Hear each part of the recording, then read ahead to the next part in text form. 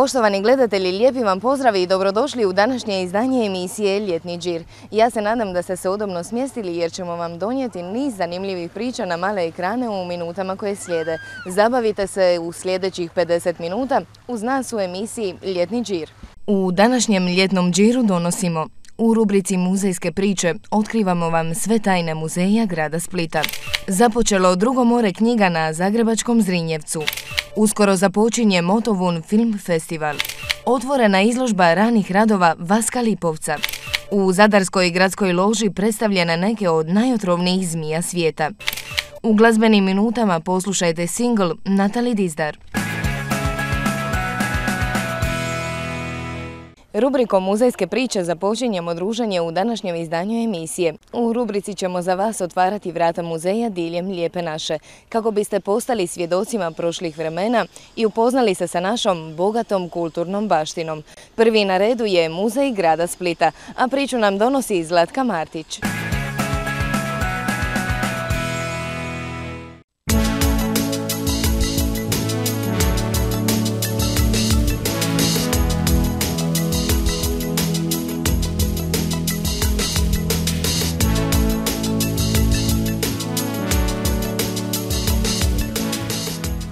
Smješten u bogatom i raskošnom izdanju Papalićeve palače, Muzej grada Splita dom je nekim od najvrijednijih primjeraka umjetnosti, a u Splitskoj palači kulture ugostila nas je ravnateljica muzeja Narcisa Bolšec-Feri, kako bi nam ispričala splitsku muzejsku priču staru 500 godina. Prvo bih rekla da se nalazimo u najstarijoj kući u Hrvata, koja se brine, čuva i obrađuje baštinu. Najstarijoj. Znači, u kući u kojoj je Marko Marulić zajedno sa Dminom Papalićem čuvao, obrađivao e, epigrafske spomenike sakupljene u saloni. Koje je to doba? Okruglo, 500 godina unazad. Otac su se ti arheološki epigrafski spomenici e, rasuli. Neki se još uvijek čuvaju u Arheološkom muzeju u Splitu, ali jedan je tu kod nas koji zapravo dokazuje da ta kuća stvarno čuva i obrađuje stvarno te epigrafske spomenike koje je Marko Marulić objavio u svojoj maloj knjizi tiskanoj u Mlecima. 1950. godine u Papalićevoj palači priređena je velika izložba posvećena 500. obljetnici rođenja Marka Marulića, a po njenom završetku prostor je trajno ustupljen Muzeju grada Splita.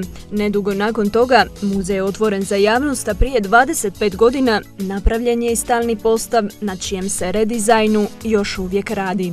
Nadamo se da ćemo ga iznjedriti, da nećemo to ko slon svoje mlade nositi dvije godine nego prije toga. E, imamo jako dobre ideje ambientalnih postava, ali sve je naravno uvijek skopčano sa financijskim pokazateljima.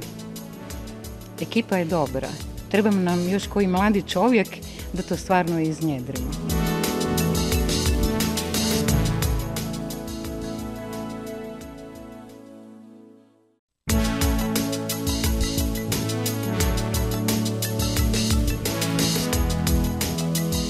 Palača obitelji Papalić sagrađena u razdoblju gotike i renesanse djeluje škole Jurija Dalmatinca, a u njoj se nalazi i gotička dvorana, poznata pod nazivom Svečana dvorana Papalićeve palače. Znate vi što je to? Za ovim su stolom ili za jednim takvim sjedili humanisti u krugu oko Marka Marulića i Dmine Papalića. Znači, svi mi koji ovdje znamo oko toga stola sjediti, mi smo zapravo baštinici, nastavljači tih slavnih vremena. E, da li ćemo mi povijest obilježiti kao onima? Ne. Ali to vam daje krila. To, to vam e, e, omogućuje kreativni i svaki drugi uzlet. Jer je činjenica da su oni bili ovdje. I činjenica da njihov dug upijaju ovi zidovi. Duh starih vremena upijaju i zidovi renesansne dvorane, čuvarice gradskog statuta iz 1385. godine u kojoj su zapisana tadašnja običajna prava. Pa ne može se baš puno gradova podičiti sa originalnim statutom iz 1385. godine. Znači, okrenimo se i pogledajmo ju, debela knjigica, prava, ne damo ju da se lista, ne damo otvoriti ovoga vitrinu i ljubomorno ju čuvamo. Znači, to su vam u principu zapisana e, običajna prava i ona prava koja štite E, vlasnika, odnosno feudalca prema malom čovjeku, odnosno ne vlasniku. E, e, to je, to je doba 14. stoljeća i ne može biti drugačije. Mnogobrojno oružje i vojna oprema iz zbirke obrane grada ilustriraju razdoblje borbe s Turcima, a zbirka je sačinjena od lijepo ukrašenih primjeraka evropskog i turskog oružja. Znači nije da su to bili majstori samo oružja. Ne, to su bili e, oni koji su cizelirali, znači e, koji su u, u poludragim metalima ukrašavali takvu jednu pušku. Što je zapravo značilo više novaca potrošiti na dekoraciju nego na pušku samu.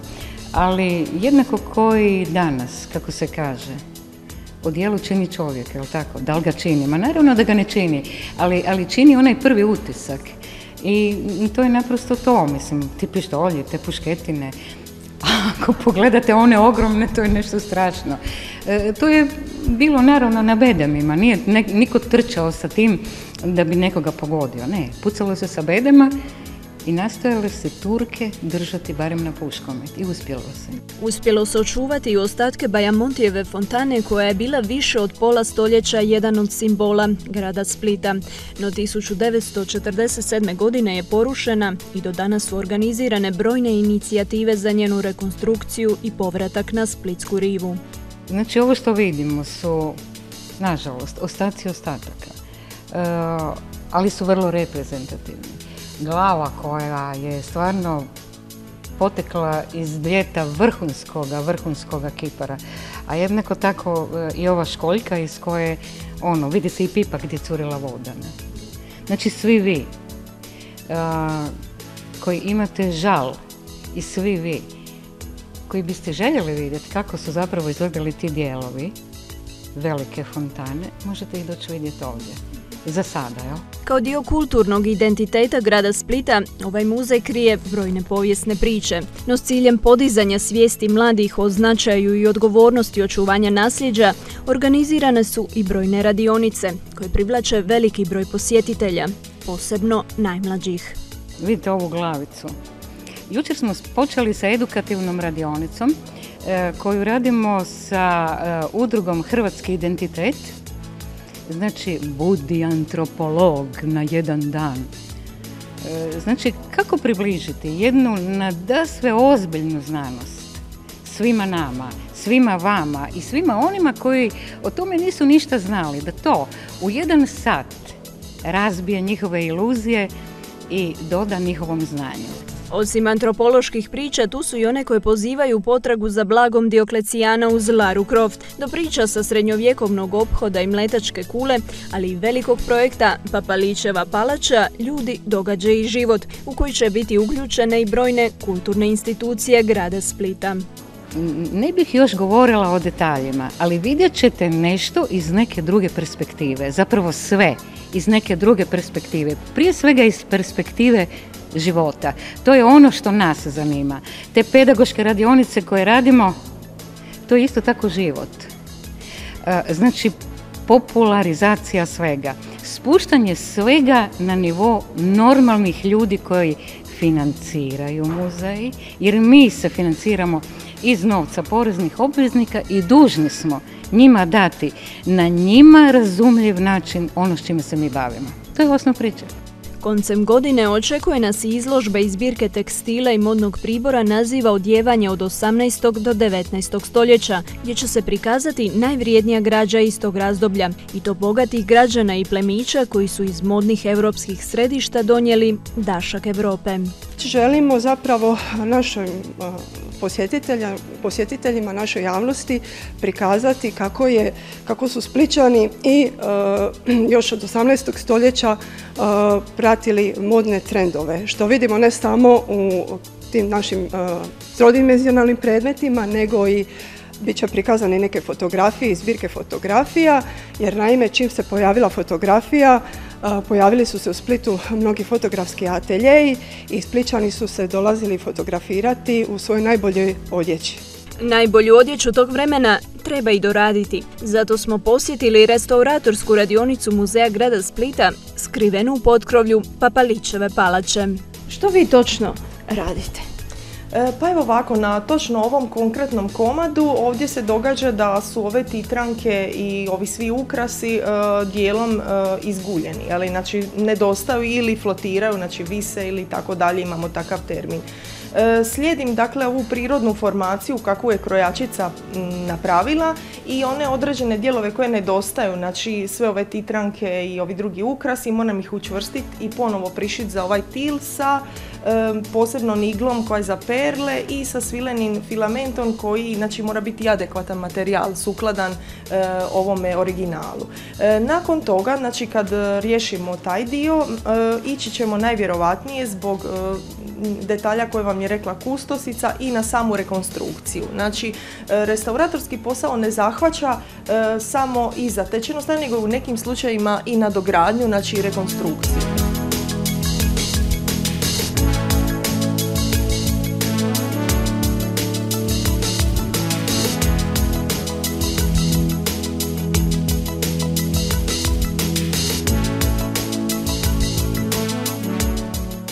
Muzeju grada Splita upoznali smo se samo s dijelom priča o dugoj i bogatoj povijesti grada Splita. Zato ćemo vas sa šarolikošću splitske baštine upoznavati i u idućim nastavcima muzejskih priča.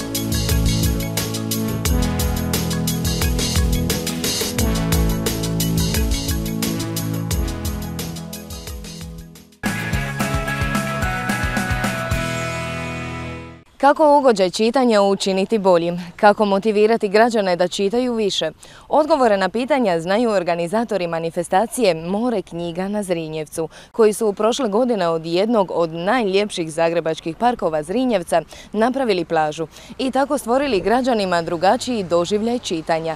Potaknuti prošlogodišnjim uspjehom manifestacija je ponovljena i ove godine. Posjetitelji stoga mogu uživati na sitnom šljunku u hladu u više od 150 naslova raznih žanrova.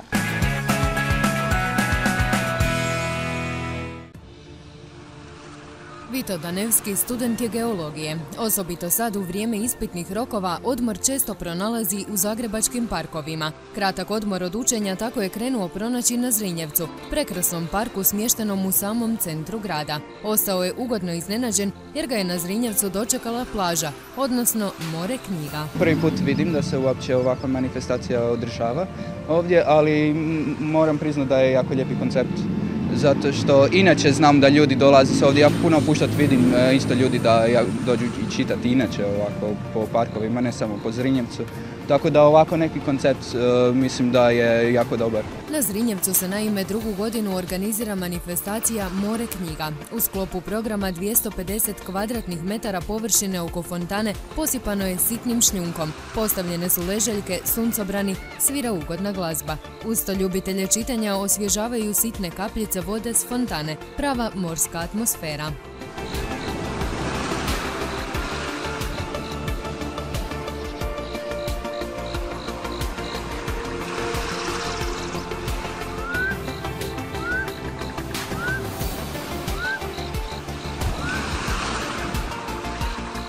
Ove godine na Moru knjiga možete očekivati hrpu besplatnih knjiga za čitanje i listanje, jednu veliku plažu, ležaljke, uživanje na suncu, koktele, sladoled.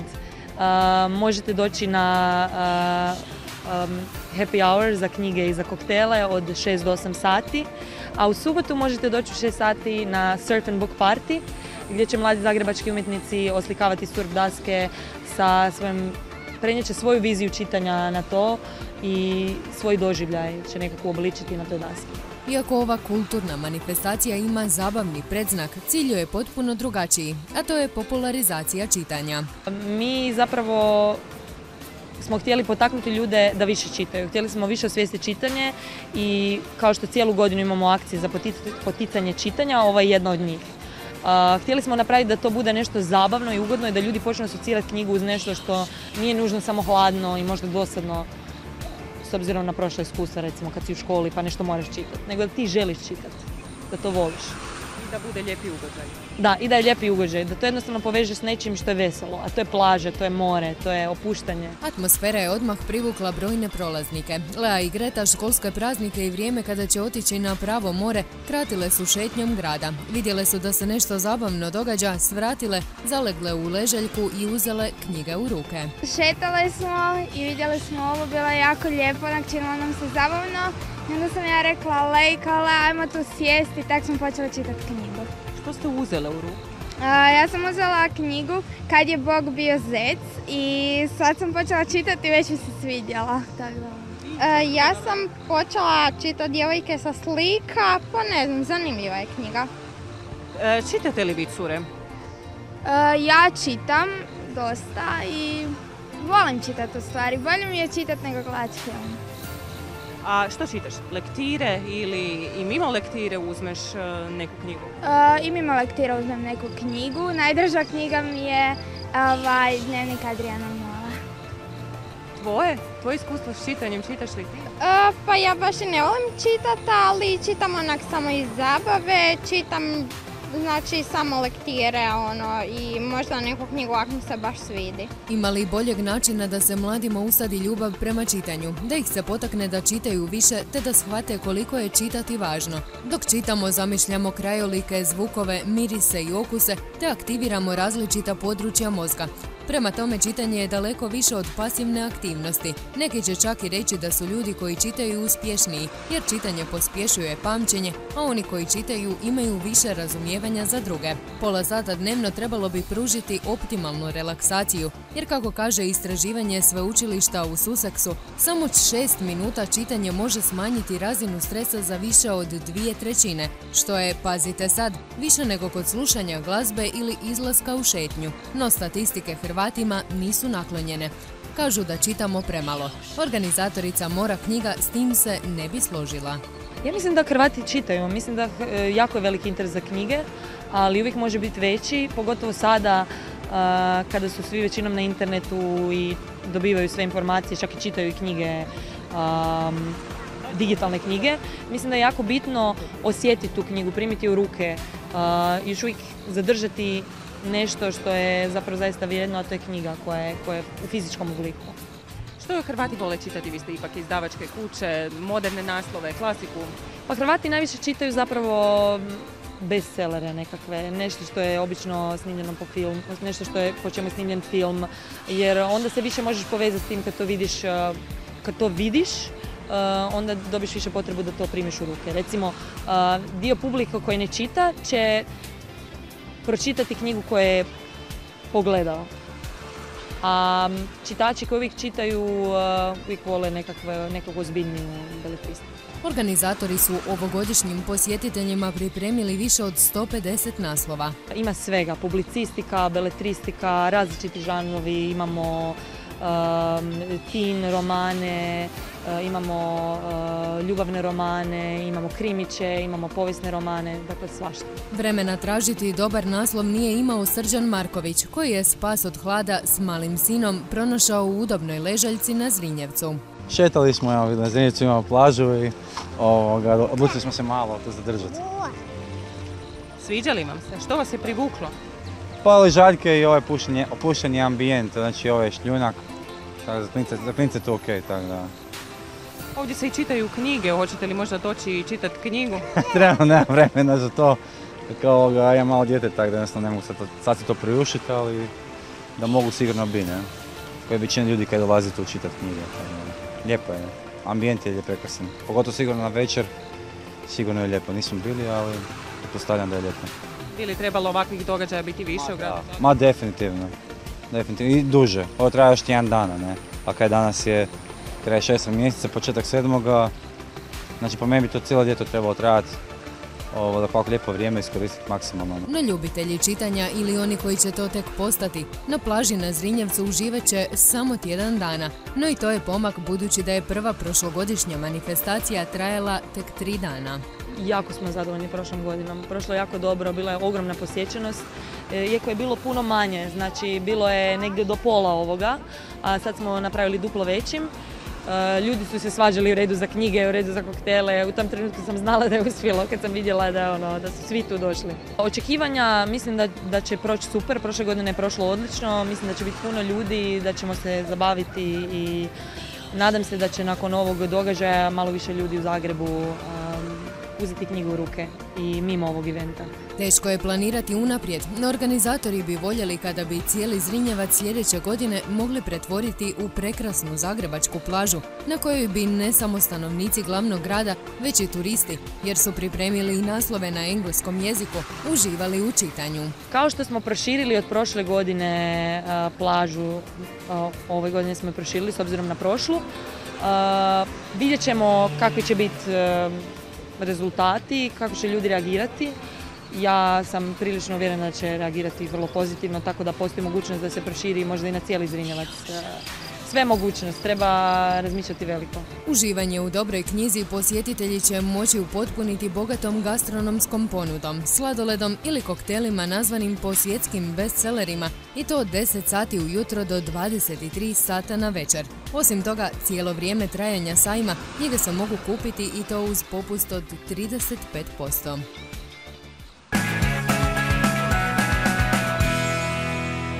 Odmorit ćemo se uz blok reklama, a nakon toga nastavljamo sa džirom po ljednim manifestacijama i događanjima. U nastavku emisije donosimo Uskoro započinje Motovun Film Festival. Otvorena izložba ranih radova Vaska Lipovca.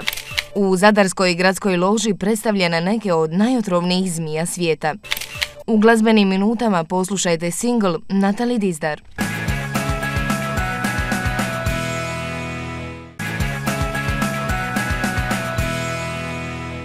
Dobrodošli natrag. Uskoro se bliži 19. izdanje Motovun Film Festivala. Festivala koji iz godina u godinu privlači sve više, kako filmaša, tako i publike. A što ove godine očekuje za ljubljenike u filmove i dobru zabavu, po kojoj je Motovunski festival poznat u svijetu, saznajte u sljedećim minutama. Ovim putem vas i posjećamo da u optikama Anda u skupnju naočala možete obaviti besplatnu kontrolu dioptrije. Za sve informacije posjetite web stranicu Optike Anda i rezervirajte svoj termin već danas.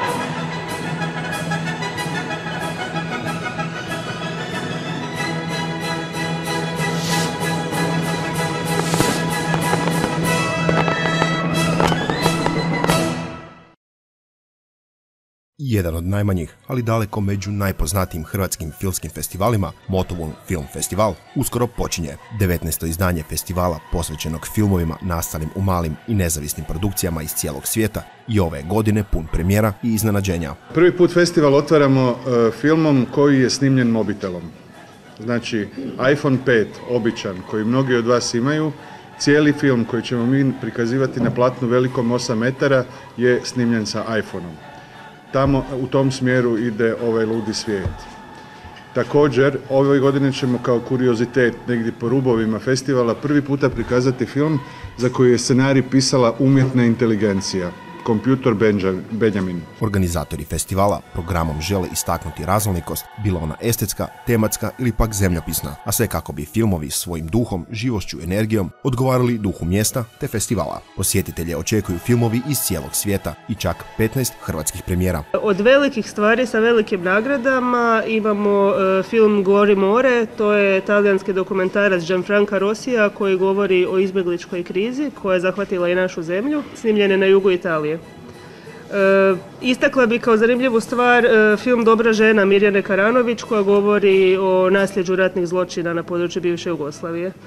E, nije sve tako crno kao što možda može djelovati kad spomenem ova dva filma. Imamo i dosta radosnih, zanimljivih stvari. Jedan od onih malih filmova koje volimo reći da smo na neki način otkrili i nadamo se da će imati velik put nakon Motovuna, kao što se znalo događati priješnjih godina, je mađarski film Ubojice na kotačima o e, bandi plaćenih ubojica s invaliditetom. E, užasno zanimljiv, zabavan, pomaknut krimić koji je recimo meni osobno jedan od najdražih filmova ove godine u festivalu. Kao i svake godine, na festivalu se predstavlja neka zemlja i njena najveća dostignuća u kinematografiji. Ovogodišnja zemlja partner je Italija. Imat ćemo najmanje 15 talijanskih filmova, čak i više 16 mislim da imamo talijanskih filmova ove godine, e, uz dva filma koji, su, e, koji predstavljamo u glavnom programu. E, imamo dakle jedan program koji se zove Il Grandi Maestri i to je pet filmova, pet velikih ili ponajvećih talijanskih trenutno aktivnih režisera, svaki predstavljen s po jednim filmom. Drugi program se zove Mezzogiorno i govori zapravo o onom dnu čizme talijanske, o jugu. E, o regiji, dakle, o kojoj često imamo e, neke vrlo zadane stavove ili čak predrasude koji govore o tradicionalnom životu, siromaštvu, pa čak i kriminalu. E, izabrali smo pet tamošnjih režisera i prikazujemo filmove koji će zapravo dati neku drugu sliku juga. I na kraju komedija italijana, Mislim da nam svima u životu treba malo više komedija. Italijani su zapravo e, stvorili trademark na toj, na toj vrsti filmova. U sklopu programa predstavljanja Italije, Bela Italija, bit će prikazan jedan od najvećih filmova svih vremena, Felinijev Amarcord. 2015. kada se napunila 40. godišnjica e, Oscara za taj film, e, Italijani su napravili novu, restauriranu, digitaliziranu kopiju koja je onda svečano predstavljena na festivalu u Veneciji povodom našeg partnerstva sa Italijom ta ista kopija sada stiže k nama i dakle imat ćemo jednu posve posebnu projekciju tog filma. Što što se mijenjalo u programu Motovunskog filmskog festivala, ono što je ostalo od samog začetka 1999. godine je dodjela nagrada osobama koje su svojim radom i stvaralaštvom zadužili filmsku industriju. To je priznanje e, Motovom film festivala ljudima koji su e, pola stoljeća izdržali u svijetu filma. E, oni koji se bave tim poslom znaju da to pogotovo u našim uvjetima nije lako. Znači to je nagrada za izdržljivost i e, izuzetno smo sretni što je ove godine na red došao čovjek koji je uz Motovom Film Festival stvarno od vremena dok Motovom Film Festival još nije postojao e, jer je bio uključen u onu radionicu Imaginarna akademija u Grožnjanu u kojoj smo mi zapravo smišljali festival. Riječ je o čovjeku koji je praktički digao iz mrtvih hrvatski dokumentarac koji je pokrenuo Zagreb Docs, koji predaje na akademiji, koji je pokrenuo studij dokumentarnog filma na akademiji i koji je u sve to redatelj dokumentarnih filmova, dakle Nenad Puhovski. I Nenad Puhovski ima e, svojih 50 godina aktivnosti. E, u čast te nagrade prikazat ćemo njegov ovogodišnji iznimno uspjeli film koji se zove Generacija 68. Osim po filmovima, Motovum Film Festival poznat je po dobroj zabavi, koja nerijetko traje od jutra do mraka, a i ove godine posjetitelji neće biti razočarani popratnim programima. Ponovno imamo i puno koncerata, između ostaloga će tu biti e, uz naše e, goste iz Italije, band Kalašima, biti će Edo Majka, Kawasaki Trip, Jonathan, to je Jonathan, e, biti će e, Tetkine radosti koji je jedan kolektiv koji je napravio jedan od najboljih tuluma u povijesti na već sada nam se vraćaju i jako nam je drago najaviti da će s nama ove godine biti i, i Filip Motovunski. To je mladi DJ koji ove godine slavi 10 godina profesionalnog rada, a radi se o dečku koji je odrastao uz naš festival i mi se nekako volimo nadati da smo malo i utjecali možda na njegov osobni i profesionalni razvoj kroz sve ove godine. 19. izdanje festivala počinje 26. i traje do 30. srpnja. Stoga svi željni filmova nastalih u malim i nezavisnim produkcijama kupite ulaznice i rezervirajte svoje mjesto u srednjovjekovnom gradu Tvrđavi, Motovunu.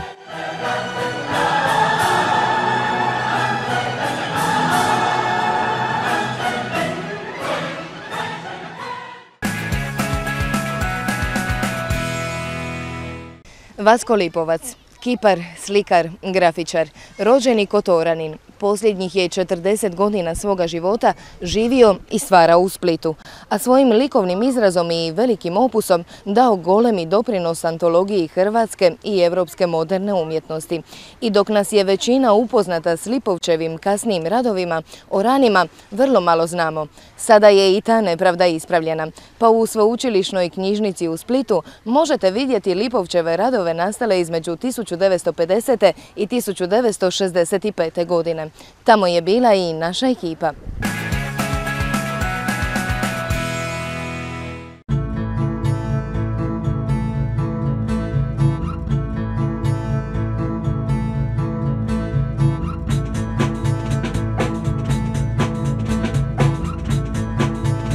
Vasko Lipovac, rani radovi 1950. do 1965. Naziv je izložbe otvorene u sveučilišnoj galeriji koja nosi naziv po splitskom, kiparskom i slikarskom virtuozu. 25 slika i dvije skulpture uključuju najranije umjetnikove radove, od upisa na Akademiju primjenjenih umjetnosti u Zagrebu do prve samostalne izložbe u Splitskoj galeriji umjetnina, a prikazane su u godini u kojoj se obilježava desetogodišnjica smrti splitskog umjetnika. Prigodom otvaranja ove naše galerije, e, sveučilišne galerije Vasko Lipovac, obećali smo da ovo neće biti tek prigodničarska galerija i da će stalni postav biti ujedno inspiracija za daljnji rad. Dakle, trajno istraživanje na području umjetnosti, a pogotovo sve što se tiče e, e, lika i dijela Vaska Lipovca, pa je onda i ova izložba upravo posvećena onom najmanje poznatom njegovom onom ranom opusu, njegovim kasnim studentskim danima i ranoj umjetničkoj karijeri koju je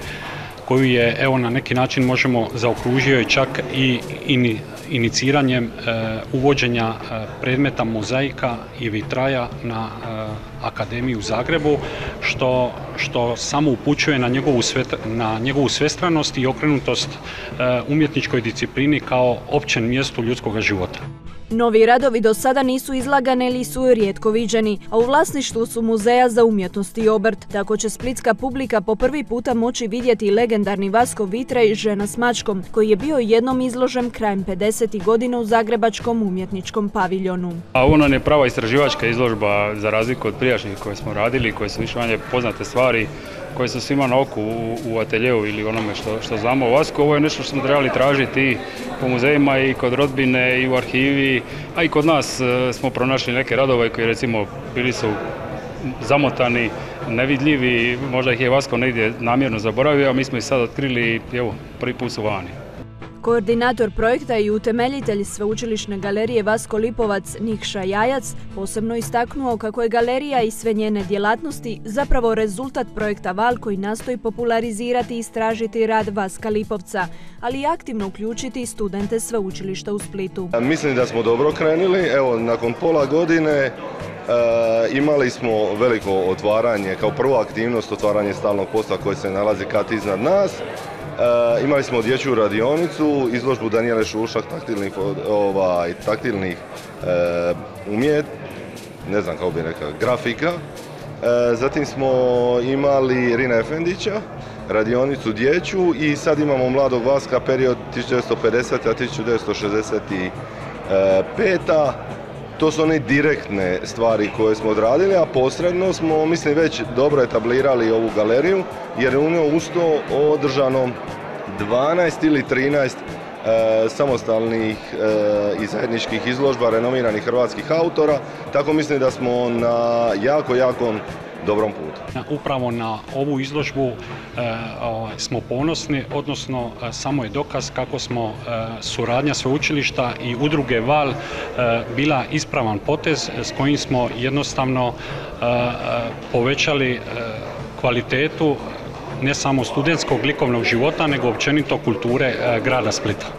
Stalni postav galerije čini 70 dijela Vaska Lipovca, od kultnih biciklista, preko serije slika na dasci i pratećih akvarela do intimističkih crteža te zasebne cijeline posvećene borbi čovjeka i mora, a novi radovi da će bolji uvid u bogati umjetnički opus omiljenog splitskog umjetnika. Ovo je vrlo važna izložba koja je otkrila nepoznatoga širokoj publici nepoznatoga Vaska. Njegove same početke kada je on na početku svoje e, karijere doživio apsolutnu svjetsku afirmaciju koja je naprosto upala u nekakav hijatus, zaborav kojega su vrijedni kustosi prije svega dr. Prančević, ali i udruga Val, njegovi sinovi, e, vratili nazad. Vratili su ga na pravom mjestu upravo u prostor sveučilišne knjižnice, odnosno galerije Vaska Lipovca, među studente, među znanstvenike koji će iz ove izložbe dobiti jedan sjajan povod za danje istraživanje ovog genijalnog e, hrvatskog, splitskog, dalmatinskog umjetnika. On je sa ovim e, radovima i sa izvrsnim panoima koje su kustosi priredili potpuno dao novu dimenziju, ne onog Vaska kojeg smo naučili gledati, nego jednog Vaska ozbiljnog umjetnika koji je bio pokretač cijelog jednog umjetničkog pravca u to doba u tadašnjoj Jugoslaviji i naravno u Zagrebačkoj školi. Koji su daljni planovi udruge Val? Pošto je ovo deseta godišnjica od smrti Vaska, mi smo nekako pokušali povući crtu, vidjeti gdje smo. E, zato je ova izložba nekako vraćanje na početak e, onoga što bi trebalo dalje raditi sa, sa Vaskovim fundusom. I za ovo ljeto e, planiramo izložbu na Bolu, zatim prvi devetoga veliku izložbu u, u Crnoj Gori u Cetinju, kao uvod u retrospektivu koju planiramo sljedeće godine, negdje pred kraj trećeg mjeseca u Klovićevim dvorima u Zagrebu. Umjetnost Vaska Lipovca, poznatog slikara, kipara, grafičara, dizajnera i ilustratora, umjetnost je Mediterana stvarana u gotovo 40 godina njegova rada. Što je stvarao u samim počecima svog umjetničkog djelovanja, možete pogledati u sveučilišnoj galeriji sve do 15. srpnja.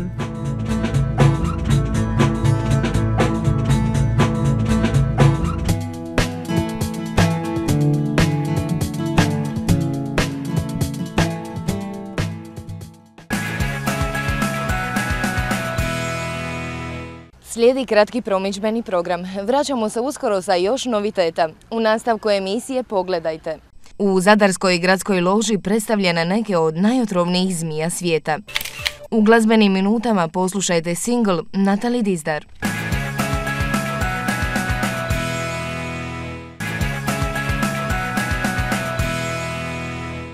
Dobrodošli natrag u emisiju Ljetni džir. Svi ljubitelji reptila u gradskoj loži u Zadru i ove godine imaju prilike vidjeti neke od najotrovnijih zmija svijeta, kao i druge vrste gmazova. U 31. terariju smještene su među ostalim kraljevska kobra, crna mamba, gabonska ljutica te nekoliko vrsta čegrtuša i naš domaći poskok. Ova zanimljiva i edukativna izložba bit će otvorena do 31. kolovoza.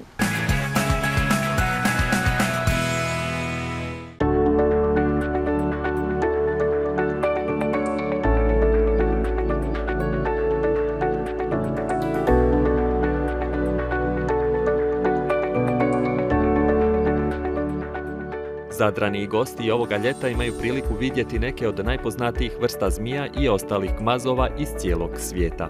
U 31. terariju smještene su među ostalim kraljevska kobra, crna mamba, gabonska ljutica te nekoliko vrsta čegrtuša i naš domaći poskok. Osim zmija, na izložbi posjetitelji mogu vidjeti i dvije vrste varana, savanski i argus varan, od kojih argus varan ima preko metar i pol. Radi se o izložbi gomazova, recimo da tako, makar su zmije najzastupljenije, nekako ljudi najviše reagiraju na zmije, ali ima tu evo i nekih guštera, ima jedna jedina vrsta otrovnih guštera na svijetu, ima jedan varan poprilično veliki od nekih metar i pol i tako. Koliko vrsta zmija? ima preko 30 vrsta zmija. Većina, mislim, opet većina ih je otrovnih, jer opet to je nekako ljudima najzanimljivije. Ima tu, ne znam, od hrvatskog poskoka kojeg mogu ljudi vidjeti, dvije vrste mambi, zelena e, i crna mamba, kraljevska kobra, neke vrste čegrtuša, uglavnom ovako poprilično širok spektar zmija. Vi se od 90-ih bavite sa zmijama, mogu to tako reći. Da li se percepcija ljudi promijenila u nekih 20 godina? Da li su se ljudi prestali bojati gmazova? Pa ja mislim da, da percepcija se mijenja i da izložbe poput ove upravo pomažu tim. Ja mislim da je dosta teško, ja znam, mislim po sebi, meni je teško bilo moju baku razuvjeriti da to nije tako opasno i da se treba paziti zmija u svakom slučaju, pogotovo u prirodi, ne znate ako niste upoznati je li to neka opasna zmija ili ne, ali mislim da ove mlade generacije vis-a-vis televizije, gdje sad ima stvarno tih emisija o zmijama i, i klinci to jako vole gledati, interneta. Znači, mislim da ove mlade generacije će stasati u to da ipak ne percipiraju ono zmiju, vidi zmiju, baci kamen, ubi zmiju. recimo, poskok je neka zmija koja živi u ovim podnebljima, odnosno u stvari po cijeloj Hrvatskoj biti i vrlo često se desi nekakva nezgodna, ne daj Bože, ugriz upravo u tom momentima kad čovjek ide ubijati životinju, konkretno poskoka. Jer poskok kao i svaka životinja bježi od čovjeka, znači njemu nije u interesu niti napad čovjeka, niti on percipira čovjeka kao plijen pa da bi ga sad išao napasti, znači on se umakne u svakom slučaju, ali vrlo često ljudi onda idu ubijati tu zmiju, bilo koju zmiju, onda se naravno životinja koja životinja brani i dođe do ugriza i to su te potencijalno opasne situacije koje treba izbjegati. Zato mislim da te mlade generacije će ipak nemaju tu percepciju, gle zmija, ono, ubije. Posljednjih godina u Hrvatskoj je porastao trend uzimanja zmija kao kućnih ljubimaca. Odakle sve te zmije, kako ste ih uspjeli prikupiti? A, pa ta neka moja za većinu ljude, ljudi suluda ljubav prema zmijama je počela još od e, djetinjstva. U principu prvi put sam neku zmiju sa 7 godina, imao u smislu uhvatio pa sam držao u nekom terariju doma, skrivo od roditelja u biti da oni to ne vide i tako. I tako da je to tak krenulo od, od, rane, od rane dobi i eto nekako me drži dan danas još uvijek. Da li je bilo teško skupiti sve te primjerke s obzirom ipak da se radi o divljim životinjama? pa ovi svi primjerci koji su tu prikazani, odnosno zastupljeni su zmije iz uzgoja. Znači isto tako kako ja uzgajam zmije, tako neki moji prijatelji po svijetu uzgajaju zmije, pa mi znamo tako ko sličice čenđamo, odnosno mijenjamo zmije. Ovoga, pa je, mislim, velim ja od nekakve svoje dva, ranih 20 sam recimo krenuo u nekako skupljenje, ima tu neko, evo jedna zmija je od tada, jedan krajski piton je znači iz 95. 6.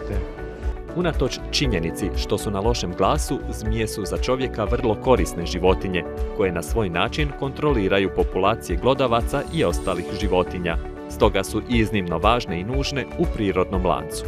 Za sve one koji se odluče za zmiju kao kućnog ljubimca, kakvi su savjeti, kakva je procedura, na što sve trebaju paziti?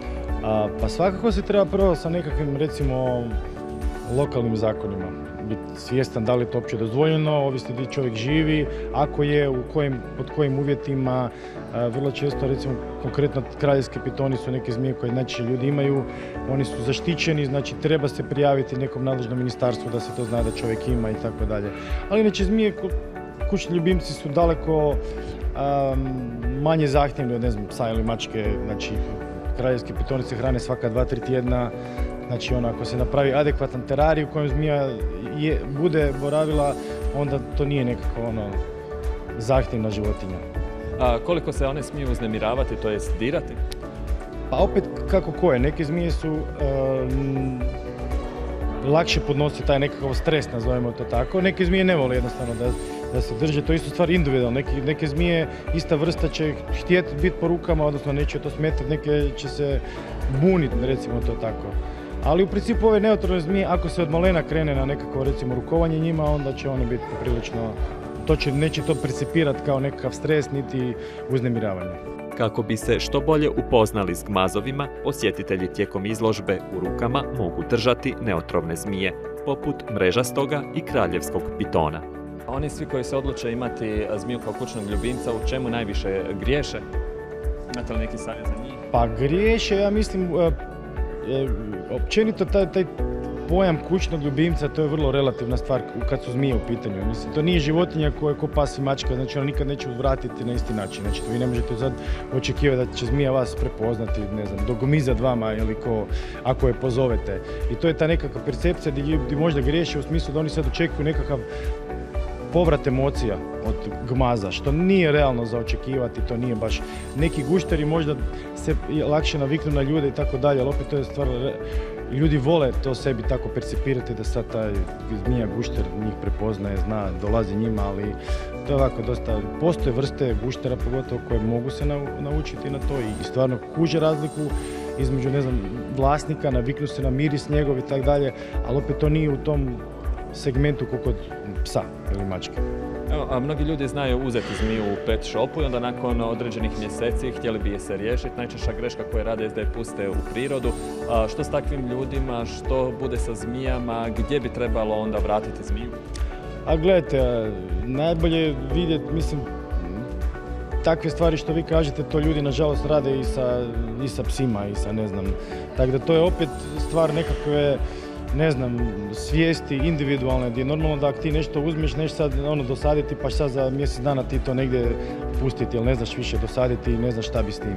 Znači svakako se treba upoznati, znači koji sa psom, znači neko uzima psa mora biti svjestan koje su sve to obaveze i tako dalje, isto tako sa zmijom. Hvala Bogu, zmija ima puno manje obaveza nego što čovjek ima ako ima psa. I onda ovoga, treba, uvijek mislim, treba se u svakom slučaju probati to udomiti. Bilo koju, koju životinju, mislim kad čovjek više iz ne znam kojeg razloga ne želi ima, treba naći načina da se udomi, eventualno kontraktirati nekakve udruge, e, eventualno nekakav zološki vrt ili nešto ako se radi o zmiji, pa na taj način nikako ne pušta tu prirodu. Kako ti se svidjela izložba? bilo mi je lijepo, vidjela.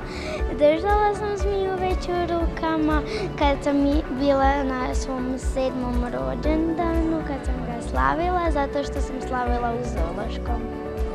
Jel se bojiš zmija?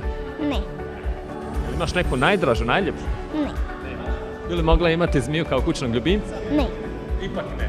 ne. Ova zanimljiva i edukativna izložba bit će otvorena do 31. kolovoza.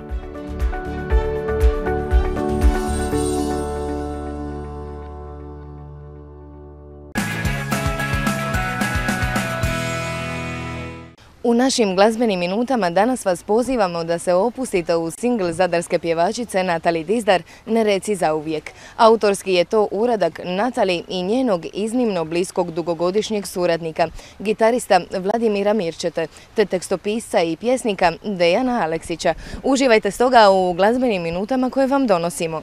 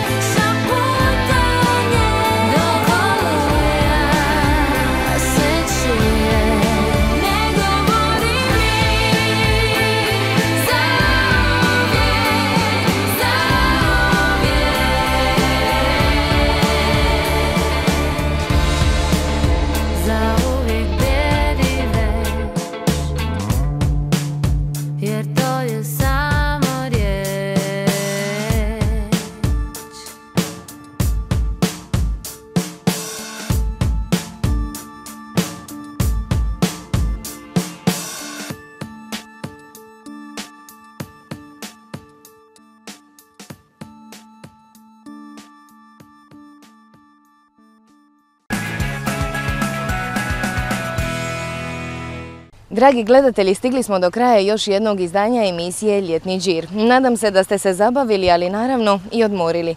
Stoga vidimo se sutra ponovno u 21 sat. Ako ste propustili neko od naših emisija, ja vas pozivam da ih potražite u našoj videoteci na web stranici www.mreza.tv. Također ne zaboravite nas i pratiti putem Facebooka i Twittera, ali isto tako pišite nam i na našu mail adresu ljetni.dir.mreza.tv. Ostanite i dalje uz naš program i vidimo se sutra.